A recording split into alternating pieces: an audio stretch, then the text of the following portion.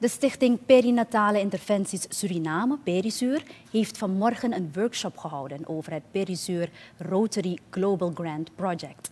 Het doel van het project is het ontwikkelen en implementeren van perinatale interventies. Dat zijn handelingen die gericht zijn op het verbeteren van geboorteuitkomsten, gezonde zwangerschappen en een gezonde start voor de pasgeborenen. De perinatale periode is de periode vanaf de derde maand van de zwangerschap tot de eerste week na de geboorte. Het project is gefinancierd door de Rotary Foundation. Volgens Ashna Hindri Mohangu, projectleider en secretaris van Perisur, ligt de focus van de stichting op de reproductieve jaren van een koppel. Dat zijn de jaren waarin zij kinderen kunnen verwekken. De zorg van moeder en kind begint niet bij de zwangerschap of wanneer de baby geboren is, is zegt Hindri. Maar de periode daarvoor is een belangrijke periode voor interventies. Dus de preconceptieperiode, voordat de conceptie plaatsvindt. En adolescenten zijn belangrijke doelgroepen voor interventies. U weet het allemaal, u ziet het allemaal. We hebben een multi-etnische samenleving van ongeveer 550.000.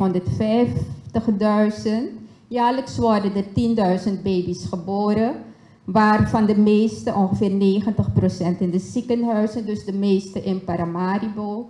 En ongeveer 10% uh, in de eerste lijn, dus dat is uh, de overige districten in de kustvlakte en het binnenland. Hinderi zegt dat bij de perinatale sterfte 4% van de baby's doodgeboren wordt of overlijdt in de eerste levensmaand. Ze legt uit waarom de perinatale interventies zijn geïntroduceerd.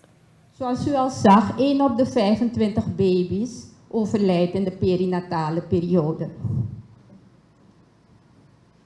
1 op de 5 baby's heeft ongunstige geboorteuitkomsten.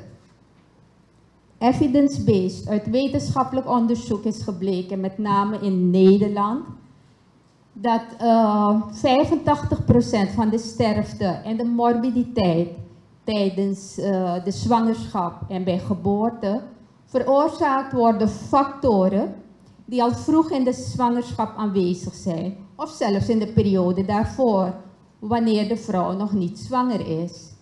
En deze factoren zijn vaak te beïnvloeden. Kennen jullie een voorbeeld? Een factor die al aanwezig kan zijn terwijl de vrouw nog niet zwanger is. Roken, heel goed. Roken is een risicofactor. Roken leidt tot vroeggeboorte, groeivertraging in de baarmoeder. En als de moeder stopt met roken, dan neem je dat risico weg. Je investeert in een gezonde zwangerschap en een gezonde baby. Ashna Hinderi Mohangu, secretaris van de stichting Perisur. Ze sprak vanmorgen op een workshop waar informatie is verschaft over het Perisur Rotary Global Grant Project. De workshop is gehouden in het Waaggebouw.